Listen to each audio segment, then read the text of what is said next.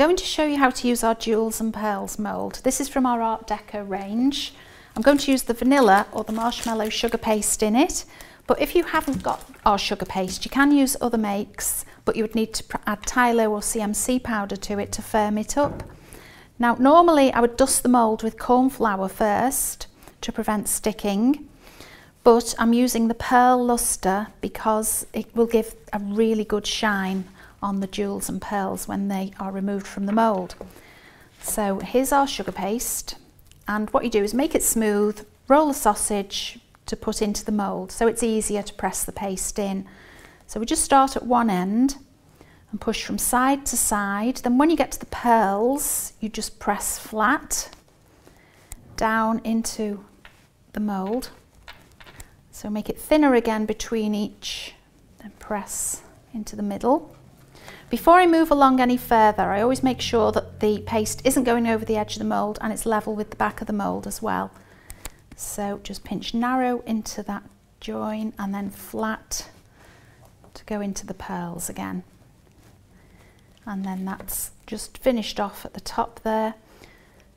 To get it thin and into the mould, just push from side to side like this and down and then remove the excess paste from the end. So again, a final check before you remove the paste from the mould. Turn the mould over and just bend the mould back and the paste will release from the mould. So because the powder was in the mould already, that means it's pressed into the paste rather than just brushing it on afterwards. So that's why you get a really good shine. I've put no extra powder on my brush. I'm just polishing it to bring out the shine. So that can be further decorated now by painting. I'm going to paint a little bit of gold around the edges. But this can be used as a straight border. You can just straighten out the band like this to attach around the base of your cake or around the top of your cake. So I'm going to mix a little bit of gold powder colour with isopropyl alcohol I'm using the alcohol because it paints really well and it dries very quickly. So I'll just paint one of the um, brooch, the jewel parts, to show you.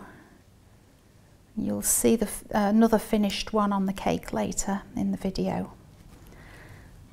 So this is about a size, let's see, size one brush. The alcohol will dry very quickly, so you do keep having to add your liquid, your alcohol to, to the powder as it dries out and mix the colour in the lid because then you can reuse it. So, and so on, that, that's the first one done. Okay. If you wanted to now, you could also add edible glitter um, to finish it off. I'll just show you the other two pieces on the mould.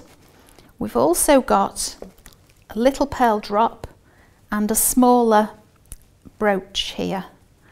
So these are very useful for where the, the pearls join if you're putting them around the cake. So this one here, we just put a little bit of paste in, take the excess off, push it back in, and then turn over, flex the mould, and just take that out. Okay, so that, that matches the pieces here on the, on the pearls uh, but it's a bit smaller. Okay, so like I said, it's useful for maybe the joins. And then the pearl drop is this little piece here. So just put a little piece of paste in, press firmly, take the excess off, and then that's ready to come out, dropped out. Sometimes you, you, you might think that your pieces are stuck, but they're not because they're, they're only very small. There's no weight in them to help them drop out of the mould, so sometimes they'll come out easily. As long as you've got enough of your luster or your corn flour in, the very small ones should drop out. And on that one, I would just paint those little pieces here on the edge. And that, that is very useful again, like I said, for the, the joins. On the cake here, you can see the jewels and pearls on each of the three tiers. Um, the top and bottom tier are the same, just done in the curve. And again, you can trim the pearls on the mould to make a shorter length so you can still fit round the same amount of pieces around each tier. I've actually cut off the larger jewels underneath the pearls on the top tier and replaced them with the smaller size. so they, they fit in with the size of the pearls on that top tier. The middle tier has got the pearls straightened out so you get the straight straight band, the straight um, border around the bottom of the cake and I've trimmed, obviously trimmed some pearls off at the sides of each so they fit together closely. Thank you for watching our video.